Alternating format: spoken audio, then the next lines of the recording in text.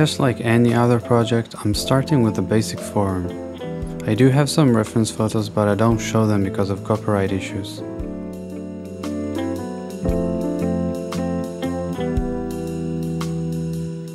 Whenever I'm overstretching the mesh, I'm remeshing it using R for voxel size and Ctrl R to remesh.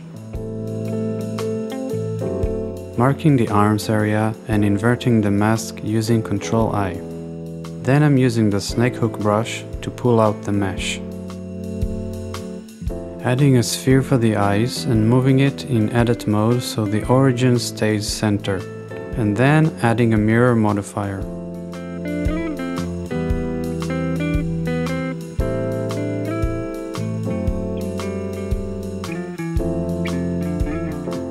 Now I'm adding some lights to the scene so I can see how it looks like in render view. For the eyes I'm creating two materials and assigning in edit mode different faces to different materials. For the body I'm just creating a basic grey material for now. Moving on to the nose. Again, I do have screenshots from the movie as reference photos so I can see how everything looks from different angles. Unfortunately I can't show it because of copyright issues.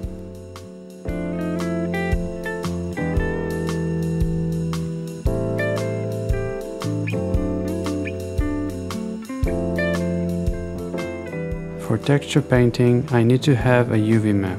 So now I'm selecting edge loops and marking them as seams for UV unwrapping. Pressing A, right click and unwrap. For texture painting I'm adding an image texture and color picking the character's colors from the reference photo. Later on I will use the same image for the character's fur colors.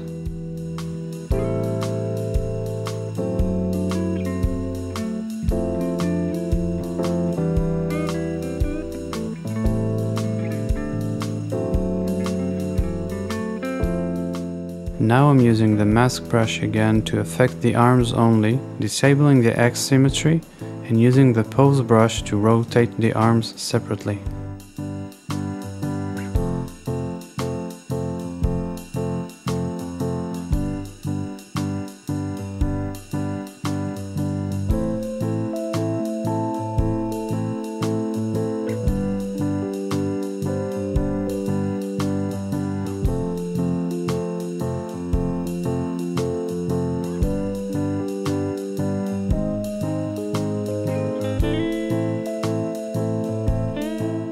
Fingers or fingernails are a pretty simple shape.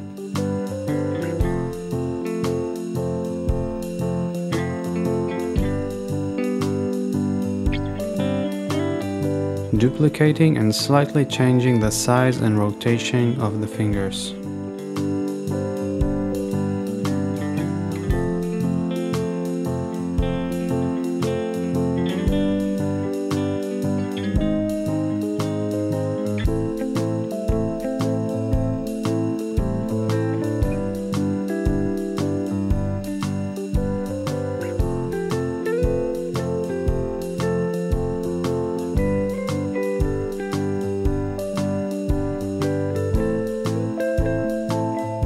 Adding a basic color material and linking the object material using Ctrl L.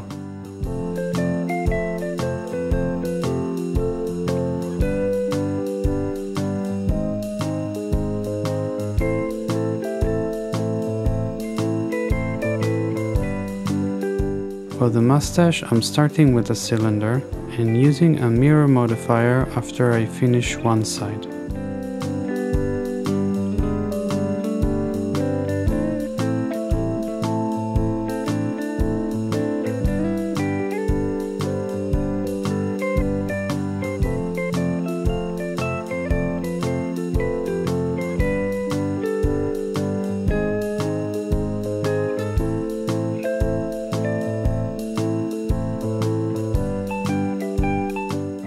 umbrella is a bit tricky, starting with a sphere of 8 segments and 8 rings, deleting the bottom half and leaving only 1 eighth of the object.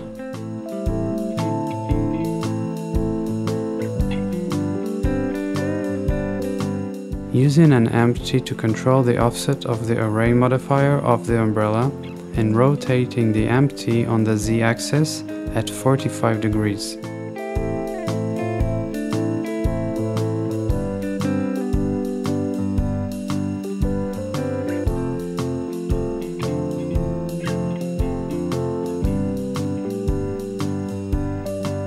Adding a subdivision modifier as well, shade smooth, and increasing the mean bevel weight for the outer edges.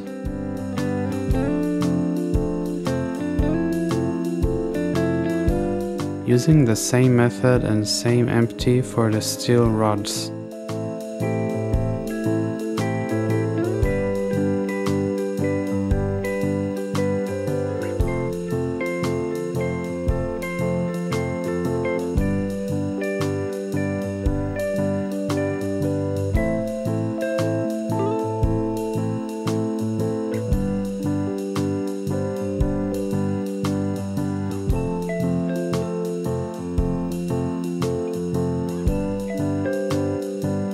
For the handle, I'm starting with the torus.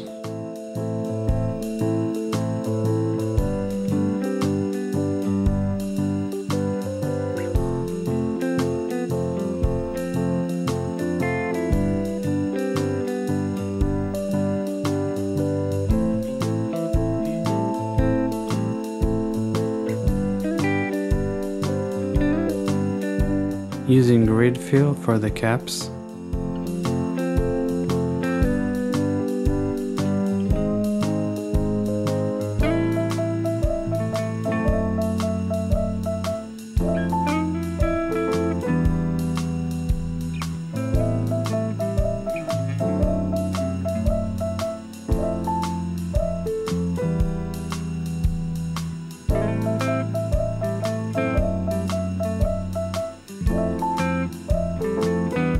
This is the same object, but I'm assigning different materials to different parts.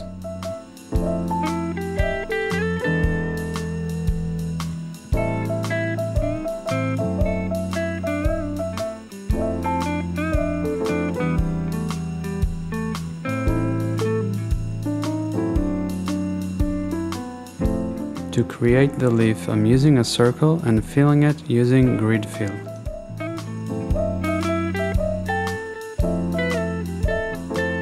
Adding a subdivision and a solidify modifier.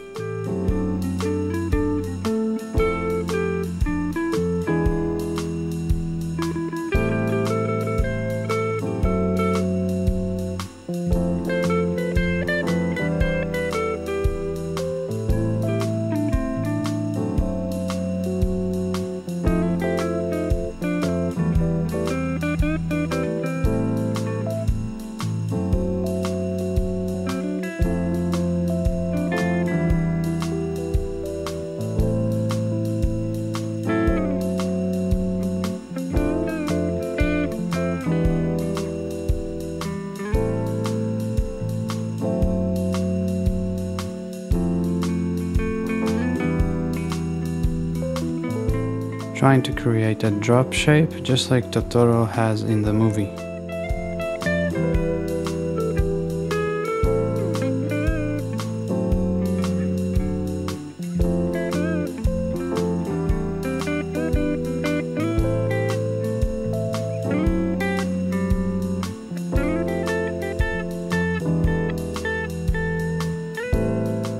Moving on to the environment for now and creating a subdivided plane as the ground.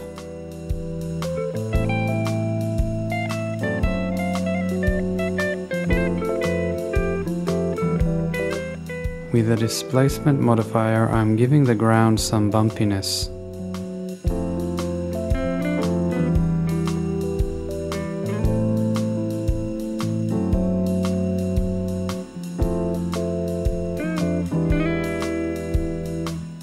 For the ground texture and all the vegetation, I'm using Geoscatter add-on.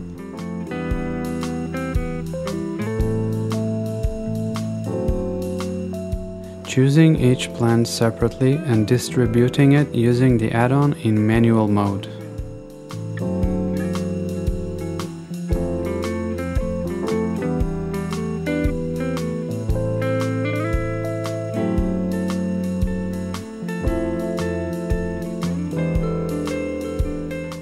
Adding a camera to the scene and positioning it as in the reference photo.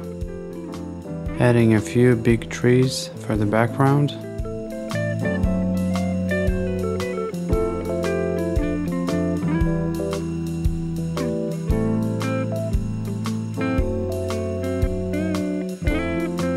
setting up a light similar to the scene in the movie.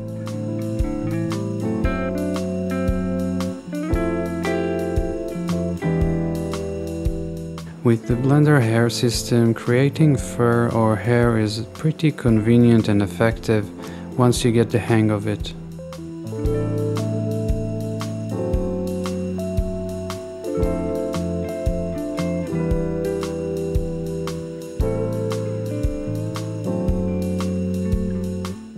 After setting up a general idea of this character's hair, I'm creating a hair material and plugging the character's color image to the BSDF so I'm getting the same color for his hair.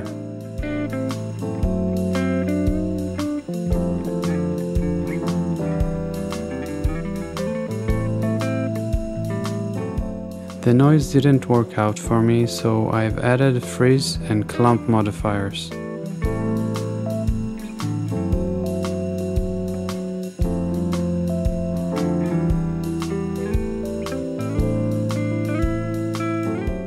Create the rain, I'm using a plane that has a raindrops image with a transparent background as a texture.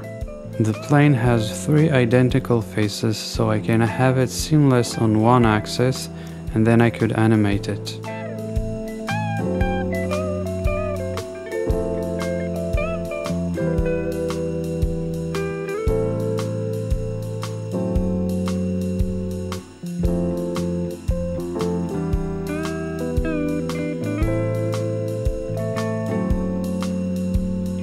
Making sure it's covering the entire frame.